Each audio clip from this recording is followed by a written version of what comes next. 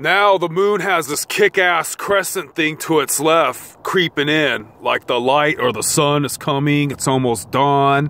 If you've been seeing the previous videos pertaining to this date, I was uh, talking about how the full moon before all this stuff happened was gleaming so brightly the majestic moonlit night that the broken glasses of the broken pieces of glasses on the ground would blind you from its reflection. This is really cool.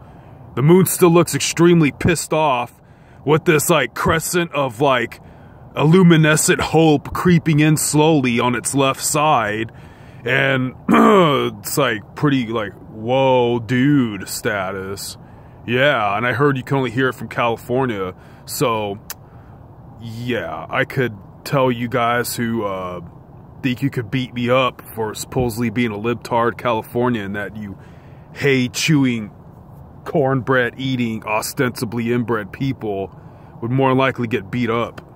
But um, anyway, under under the Lord, we should all get along because it will be a lot better for your health.